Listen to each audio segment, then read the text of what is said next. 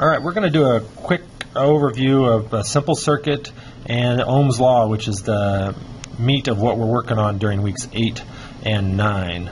So as an intro activity, I'll show you, do a little demonstration of how to set up a simple circuit, how to take the current and voltage measurements associated with that, and um, uh, let's do it. So let's go ahead and get started. All right, so let's look at our supplies here. So what I have with us is a small meter, the uh, probes that go along with that, 9 volt battery and its wiring, a simple switch, uh, a small um, battery, or excuse me, bulb holder with Fahnestock clips to make connections, and an extra wire. So we're going to complete this circuit. All right, let's take one another quick look at the circuit. So again, uh, any simple circuit is going to have a power supply, or in our case, we're calling it a voltage supply, a switch, a resistor, and that closes the loop. So this is a simple circuit uh, that we'll be working with. What we're trying to explore is Ohm's law, which tells us that the voltage on this circuit is equal to the current times the resistance. And so again, the voltage is kind of the pressure that the battery puts on the circuit to drive current around the loop. And so the current is limited by how much resistance or load you have in this location. So this is the diagram part of it. So let's go ahead and wire that up. So here's our battery. I'm going to go ahead and wrap the plus terminal around this and wrap the other around the other side. So now this is our open and close switch. Pretty simple, but it'll work for what we're working on today. I'm going to take the other wire here um, and insert it under the Fahnestock clip, and then finally the uh, last terminal to close the circuit. So let's compare this to our simple circuit we have next to it. So again, we're coming out of the power supply to the switch, and so that completes this portion here. Out of the switch, down to the resistor, or in our case, the light bulb. So that's this part here. Out of the switch, into the resistor. Out of the resistor, back to the power supply. So we went through the lamp and back to the power supply on the negative side. So this is our closed switch. And so opening and closing it gets that to turn on. Okay?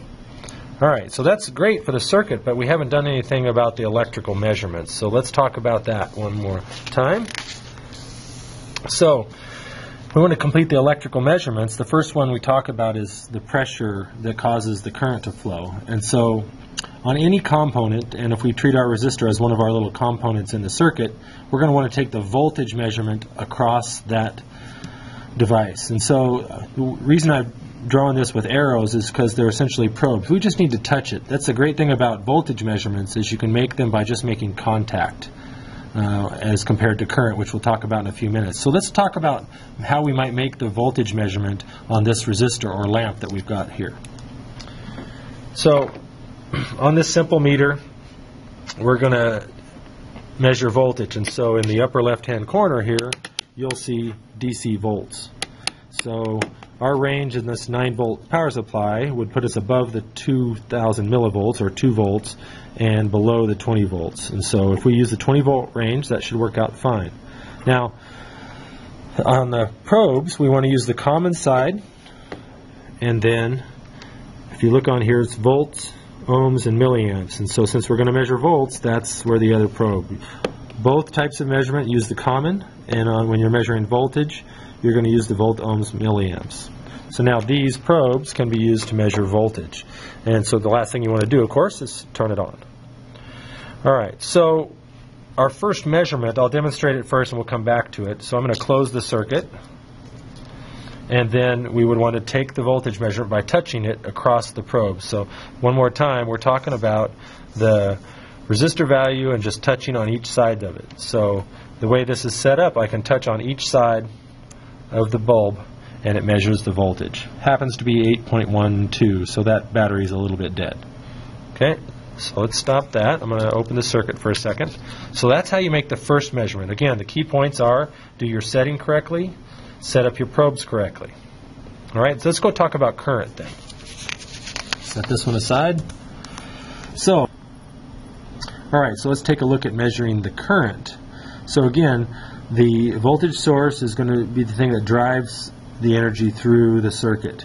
And the current flow is what's happening inside the wires. And so if you want to measure that flow, you actually have to break the circuit and put in a meter like is shown here. So what I want to do now is I'm going to show you how we break that circuit and change the meter so that we can read the current effectively. All right, so first we have to switch the meter around. So um, DC amps is on the right-hand side on this particular meter. So we'll spin it around, and we want to measure on the highest scale. It's always the safest way to do it is to measure on the highest scale available in case uh, your readings are higher than you expect. So we're going to set it up to measure at 10 amps, and, uh, and then also we need to measure set it into the probe hole that's made for 10 amps DC. So that's the only change we need. For current measurements, use common and either the milliamp scale, which is the previous hole, or the 10 amp scale. It's always safer to start with 10 amps first. So now our meter's all set. Now, to open the circuit, we pull that free. Let me hook this back up because it came loose here.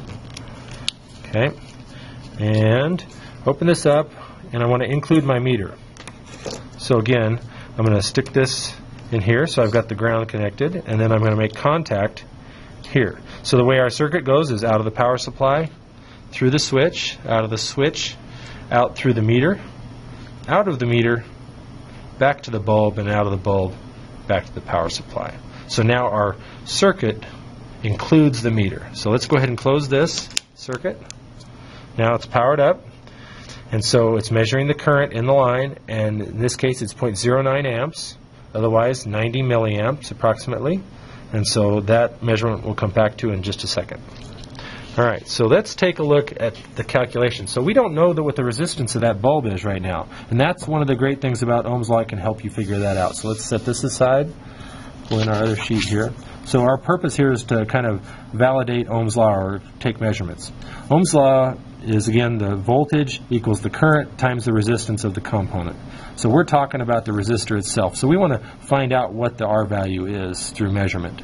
So we solve this for R, which results in voltage divided by current, and those are in volts and amps. So now we need to complete these measurements. Now, so we took one measurement here on the voltage. Let's do the current one while, while we've got it already set up. Again, I'm gonna, the circuit's closed, I'm measuring the current, and we had 0.09 amps.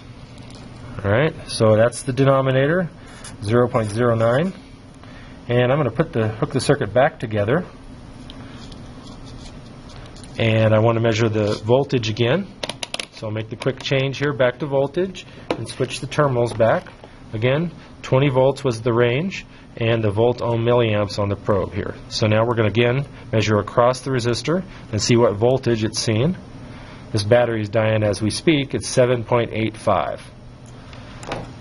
So 7.85. And of course, you do that uh, division and you end up with it's actually approximately 90 ohms. So ohms is a measurement of resistance. Now, that completes the electrical measurement of uh, this from the voltage and current measurements. But we can also measure it directly. Let's do that really quick first. So now I'm going to uh, undo the switch and take out the bulb. Now, the bulb's terminals are on the very end and the side. And one thing you're doing in class when you take apart your flashlight is I want to help I want you to help me understand what's going on. How are the connections made inside? This is a kind of a hard part to understand. But let's take the measurement of this resistance. So on the meter, there's an ohm scale. That is the symbol for resistance. So we want to switch to that and I'm going to switch it to about the 2000 ohm scale because I have some prior knowledge here and then take the measurement and so I'm going to touch the bottom of the bulb and the side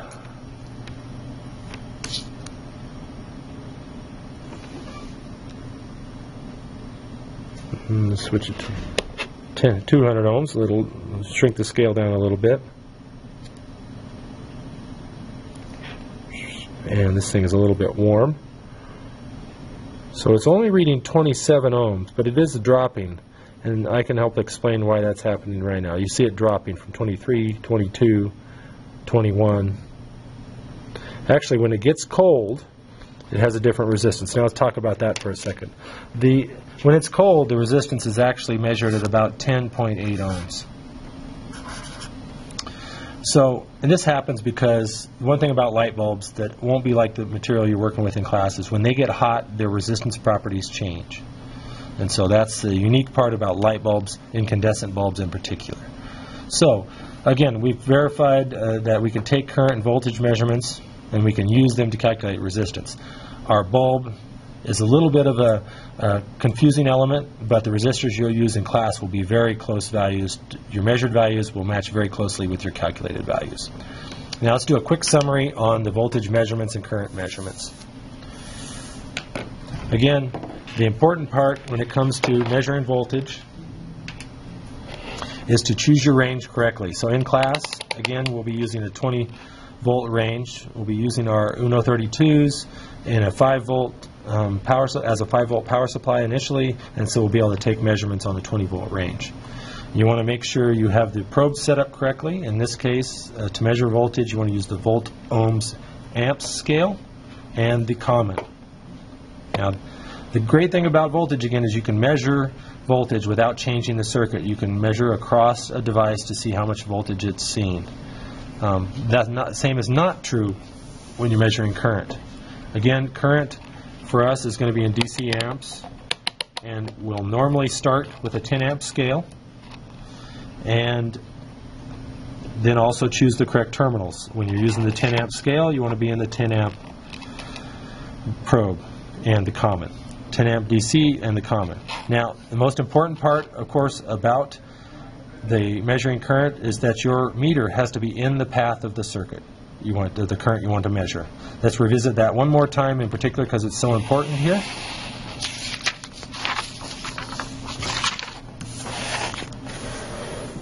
So when you're looking at a regular simple circuit, easy enough, but when you want to measure the current, you have to break that circuit and put your meter in the circuit. So that's the quick overview of how to take measurements for week, week eight.